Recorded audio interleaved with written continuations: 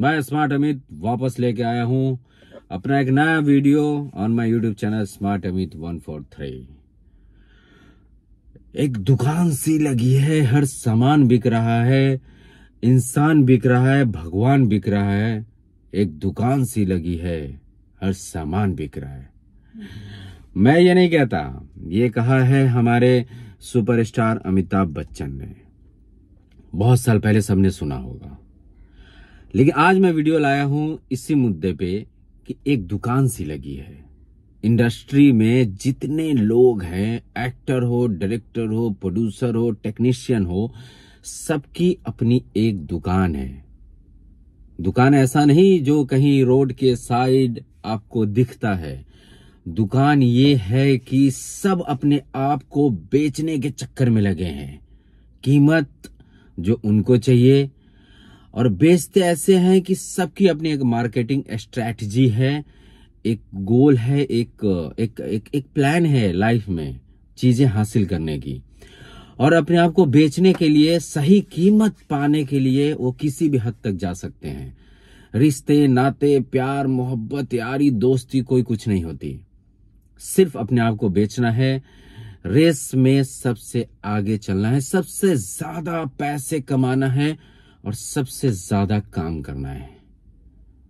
भले ही इस रेस में दौड़ते दौड़ते सब कुछ पीछे छूट जाता है, चलेगा। लेकिन हमें रेस में अव्वल रहना है।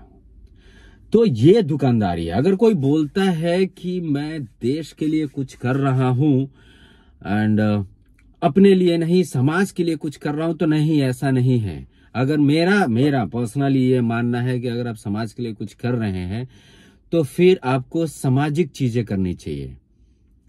अगर आप समाज के लिए कुछ करना चाहते हैं तो पैसे कमा के उस समाज में डालना चाहिए। अगर आज के डेट में एक्टर डायरेक्टर को करोड़ों में पैसे मिल रहे हैं, चालीस करोड़, पचास करोड़, सौ करोड़, एक आदमी की नीड कितनी है जीने की?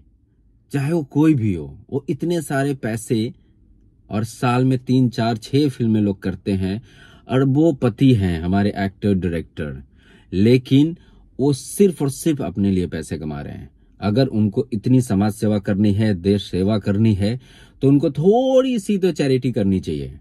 थोड़ा समाज में पैसे बांटने चाहिए। अनाथ आश्रम है, वृद्धा आश्रम है, ऐसे बहुत सारी जगह हैं। यहाँ तक कि हमारे सैनिक हैं, उनके फंड्स हैं। सोशल इश्यूज़ हैं बहुत सारे जहाँ पे पैसे की ज़रूरत होती है। बहुत सारे ऐसे ऐसे काम है हमारे सराउंडिंग उनके सराउंडिंग जिसे पैसे की ज़रूरत होती है और गवर्नमेंट के पास पैसे नहीं है तो वो नहीं कर पाते हैं और प्रोजेक्ट डिले हो जाता है। तो अगर आपको समाज सेवा करना है तो मुझे ऐसा लगता है कि आपको ये सब काम में भी थोड़े से फंड देने चाहिए। अदरवाइज़ आप समाज सेवा नहीं कर रहे हैं, आप खुद की सेवा कर रहे हैं खुद अपनी फैमिली चलाने के लिए फंड जमा कर रहे हैं। तो ये सब एक दुकानदारी है अपने आप को अव्वल रखने के लिए, रेस में आगे रखने के लिए, ताकि कल को एक लिस्ट निकले तो उसमें मैं, ये जो एक्टर है, ये सबसे ज़्यादा अमीर है, ये डायरेक्टर है, ये सबसे ज़्यादा अमीर है। ये प्रोडक्शन हाउस है जिसने सबसे ज़्यादा सीरियल, फ़िल्म, बला बला बला बला सब कुछ बनाया है। कोई किसी के लिए काम नहीं करता। सब खुद के लिए काम करते हैं। अपनी अपनी दुकानें सबने सजा रखी है और इसको आए दिन बेचते भी हैं। अपने आप को बेचते भी हैं। तरह तरह के फ़ोटो शूट कराते हैं, कुछ क्लिपिंग डालते हैं, कुछ वायरल्स वीडियो डालते हैं। एंड इस तरीके से मार्केट में बने रहना चाहते हैं शो बीज जो सो कॉल्ड बॉलीवुड है, उसमें टिके रहना चाहते हैं। ताकि उनको ज़्यादा से ज़्यादा फ़िल्में मिले, सीरियल मिले, उनका रेट बढ़ जाए, उनकी अमाउंट बढ़ जाए और वो बहुत सारा पैसा कमाए। तो बस यही कहना था कि कोई कुछ नहीं करता किसी और के लिए। सब खुद के लिए कर रहे हैं, खुद के लिए पैसे कमा रहे हैं, खुद की दुकानदारी चला रहे हैं। थैंक यू सो मच अगले वीडियो में फिर मिलते हैं। तब तक के लिए नमस्कार।